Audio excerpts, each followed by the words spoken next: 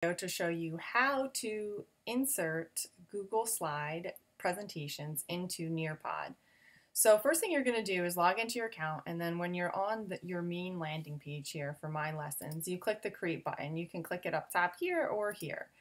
Now, it says Google Slides here, which makes you think you want to click there, but we don't want to use that portion. We're going to take an already created Google Slides lesson that you could buy on Teacher Pay Teachers or create yourself, and we're going to turn it into a Nearpod lesson.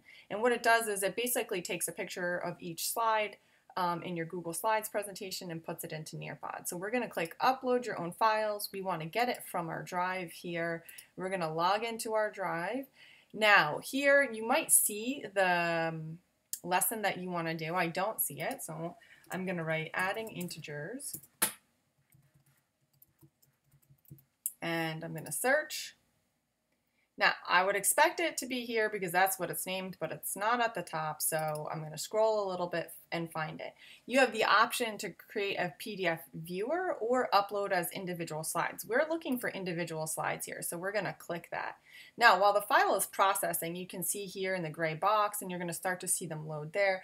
I'll just tell you the reason why I use this method is because it allows me to create my lessons how I want in the program that I want, and then I take a picture and insert it into Google Slides or save it as a PDF and then um, turn my PDF into pictures that I enter, insert into Google Slides. I do this so that I retain the ownership of my slides. They're in my personal um, Google Drive that can carry with me anywhere I go. Um, I did make the mistake earlier on in making Nearpod lessons, and then what happens is um, if you change schools and they don't have um, a Nearpod uh, school account, you don't have as much storage, and you run into some other issues. And then everything's hosted on Nearpod, and so if you don't have a Nearpod account, you basically lose all the work that you did. Um, another reason is because if you do purchase um, slides from Teacher Pay Teachers, so you want to use a resource like that, this allows you to put it in really quickly. Okay, so now we can see all the slides are in here. This is perfect. Um, we do want to rename it, adding integers. Um, and then that's the first task, super easy to do, just click on it and then you can see all our slides here. Now, if you're familiar with Nearpod, you know that you can present and then also have the students do the work. Uh, so in order to get that um, to be possible for these student slides, obviously the do now is for the students, you want to convert it to a draw it slide. So this makes it super easy. I design all my lessons um, in a way that allow me to do that. Now, you can see I just chose the option to keep a copy.